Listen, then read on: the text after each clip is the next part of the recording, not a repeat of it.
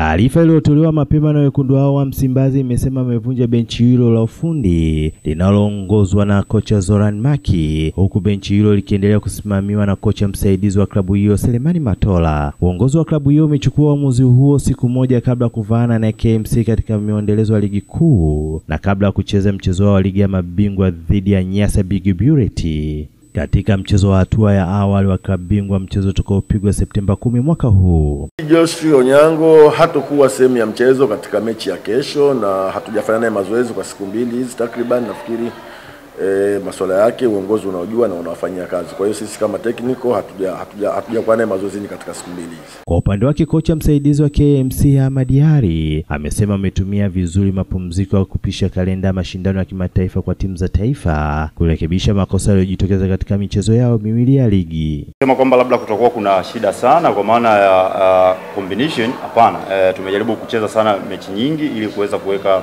umoja huo. Ukijaribu kuangalia timu yetu ina balance e, wachezaji wa zamani na wa sasa, sidhani kama wanaweza kuwa wanazidiana sana, ni wachezaji wanne kwa watano au watano kwa wanne lakini pia tumejaribu kuangalia hilo kwa maana ya kucheza zile mechi na kujaribu kuona tuweze kutengeneza uh, partnership nzuri kati ya wale wageni na wale wenyeji. Uh, kwa hilo ni kuondoe tu wasiwasi, tuko vizuri kwenye hilo. Kuelekea mchezo huo, manaodha timu zote mbili wameahidi furaha kwa mashabiki wao. Sisi kama wachezaji uh, katika eneo la ulinzi tumejipanga vizuri kuhakikisha kwamba tunakuwa tu atu, atu, atutoe nafasi kwa timu pinzani kuhakikisha kwamba apata matokeo, kwa maana kwanza kuruhusu goli kwa ile pia inakuwa inatengeneza uh, nguvu kwa upande wa washambuliaji wetu kuhakikisha kwamba wanapata matokeo. Rekodi ipo kwa ajili ya kuvunjwa, kwa hiyo tumejiandaa kwa hilo. Tunataka tukaoneshe kitu na sisi kama tunacho kitu fulani, na itakuwa ndo mwanzo wa rekodi yao na mwisho wa rekodi yao ndio itakuwa. Wakuu wa idara za habari za vilabu hivyo wamesema mchezo huo utakuwa mgumu kwa timu zote kutokana na maandalizi walioyafanya. Mahudhurio yetu wanasimba katika mechi zetu mbili za mwanzo hayaridhishi. Mechi zetu ya kwanza Geita Gold, mahudhurio hayakuwa mazuri. Mechi yetu ya pili dhidi ya Kagera Sugar, mahudhurio hayakuwa mazuri.